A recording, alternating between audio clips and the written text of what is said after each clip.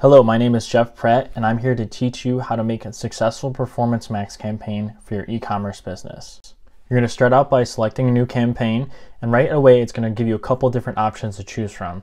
But for the e-commerce business and where we like to focus things for e-commerce, we're going to focus on sales for the campaign objective.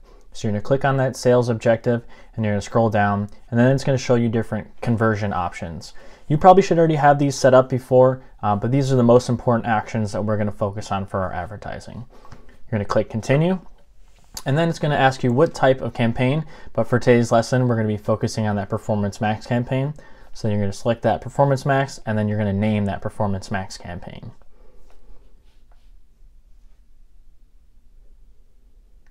Then it's going to ask you about the bidding strategy you want to focus on. So there's a few options here. There's conversions for maximize conversions or maximize conversion value.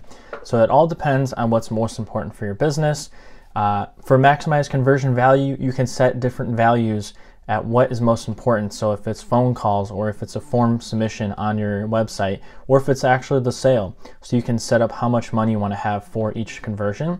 Or if you want just as many conversions as possible, you can focus on just maximize conversions. Below our bidding strategies here, we have our customer acquisition. This is if we want to focus on acquiring just new customers solely.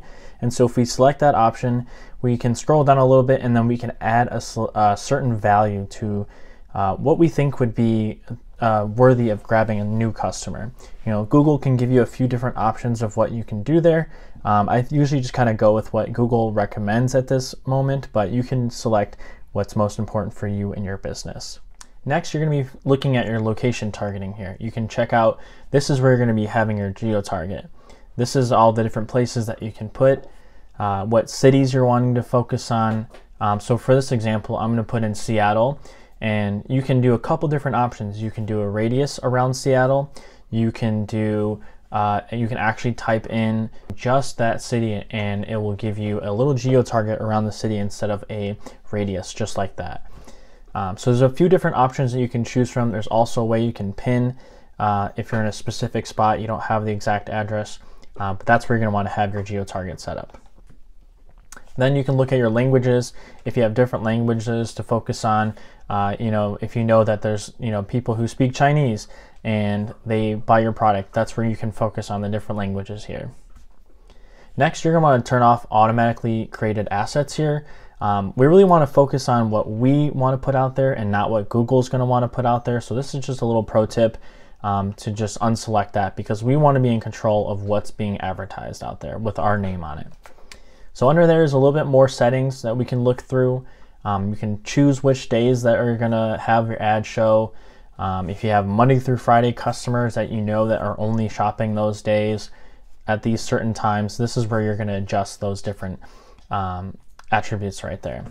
So then you can also do start and end dates. So for example, if you know you want to start on the first of the month uh, in the few next week or so or you have an end date where the offer no longer runs anymore so you can end the campaign at the perfect time next we have our campaign url tracking options this is so we can track where somebody's coming from from that campaign heading to the website we can follow what type of pages they're going to so this is where you would put in the specifics of about the campaign you know what type of ad groups or where it's coming from um, so this is where you can kind of track your, your customer coming from your campaign into your website.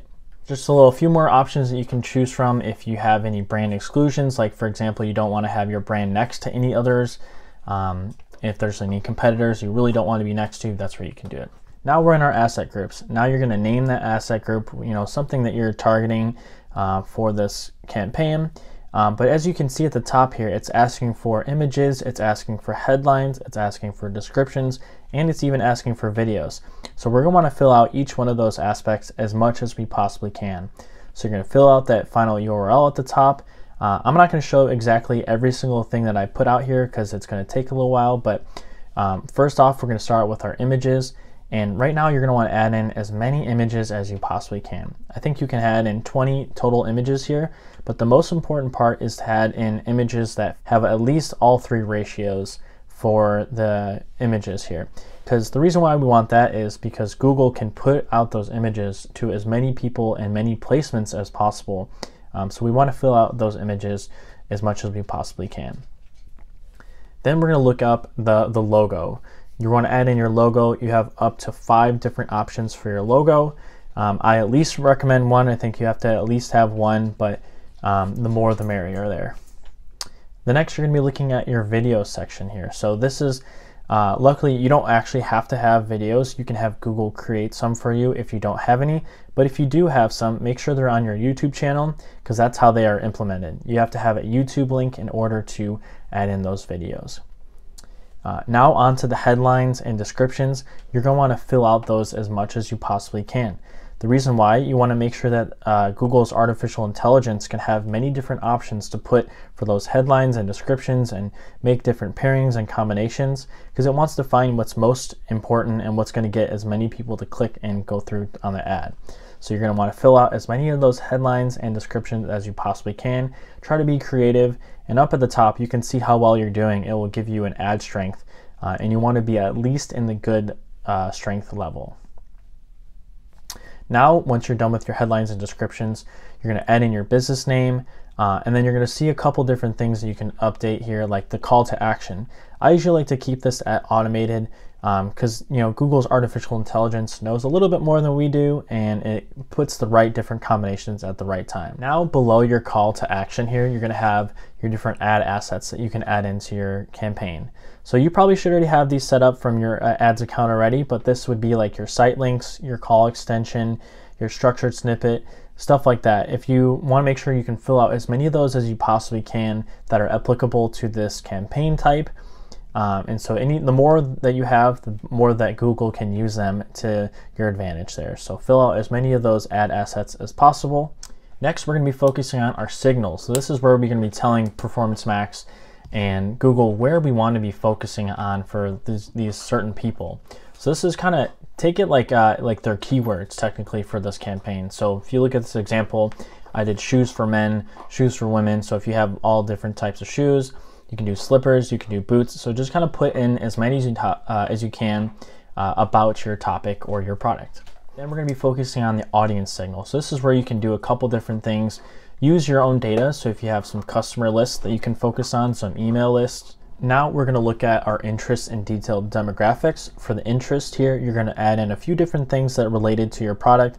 For this example, I'll use shoes. So just kind of put as many of the different interests that relate to your product as you possibly can.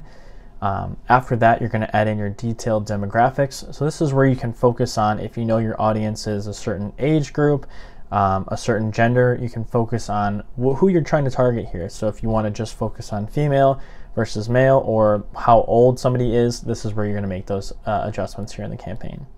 You're going to want to name that audience name and then you can save it for later and always have it for other campaigns. Then it's going to ask you about your budget. So there's Google is going to give you a few different options to choose from. Um, Usually it likes to spend as much as it possibly can, but if you have a certain set budget, I would definitely put it in here. Use your calculator to find out how much you want to spend for every single day, um, and then add in your budget here. Then it's going to ask you just to review all your different campaign objectives here and making sure that everything looks good. But there you go, you have your Performance Max campaign set up uh, and you're ready to go. Thank you for watching my lecture on creating a Performance Max campaign for e-commerce businesses.